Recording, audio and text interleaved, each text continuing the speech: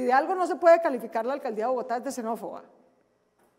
Con los impuestos de los bogotanos, la alcaldía de Bogotá paga con cero pesos del gobierno nacional, cero. Todo lo paga Bogotá, todo. Pagamos el nacimiento de los niños venezolanos que nacen en Bogotá.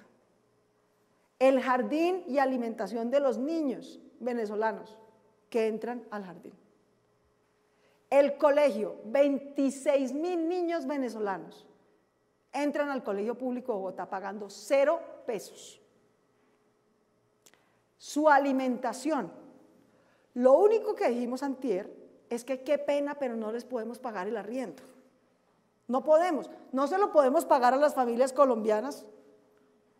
Menos se lo podemos pagar por impedimento legal, no solo financiero, a las familias venezolanas. Lo único que hicimos fue pedir ayuda a ver si el gobierno nacional pone aunque sea un centavo para ayudarnos en este periodo de cuarentena a tener más comida, además de la que ya pone Bogotá, y más apoyo para que no expulsen a esas familias de los arriendos en los que tienen.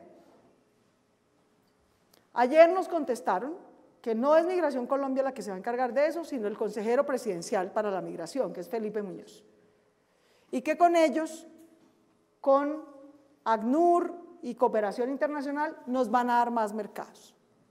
Pero que ellos tienen cero pesos para arrendamiento. Eso fue lo que nos dijeron. Que usemos el decreto que dice que no se puede expulsar a la gente. Es lo único. ¿Qué hemos hecho entonces con la policía?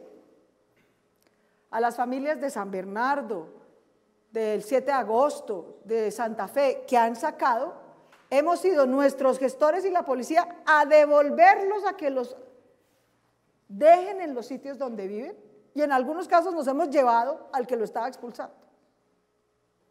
Porque no podemos pagar el arriendo, no se los estamos pagando a los colombianos, menos a los venezolanos. Qué pena que no les podemos pagar eso. Ya pagamos la comida, ya pagamos el nacimiento, ya pagamos el jardín, ya pagamos la escuela, ya damos empleo. Qué pena que lo único que no podemos cubrir es el arriendo. Y para eso pedimos un poquito de ayuda del gobierno nacional, un peso aunque sea uno, porque todas estas otras cosas las pagan los impuestos de los bogotanos sin chistar. Llevamos tres años pagando eso a 450 mil personas de Venezuela. Les pagamos el parto, el nacimiento, la salud, el jardín, la comida, el colegio y esta ciudad les da empleo. Lo único que estamos pidiendo es que en cuarentena el gobierno nacional, aunque sea, ponga un peso para ayudar con más comida y con arriendo.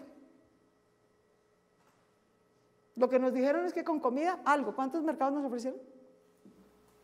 Eh, este fin de semana eh, se comprometieron a tener entre 20 mil, 25 mil mercados para apoyar a la población migrante aquí en la ciudad de Bogotá y estamos coordinando para las entregas a lo largo del fin de semana. Las vamos a entregar y le agradecemos mucho al gobierno nacional. 25 pues mil mercados es mejor que cero. Si no, igual todo nos toca pagarlo a nosotros. Y hay mucha gente necesitando ayuda, es que hay dos millones de familias. 5 millones de personas en Bogotá están necesitando ayuda. Entonces, lo único que hicimos fue pedir ese favor. Pues, qué pena salir a deber. Qué pena salir a deber.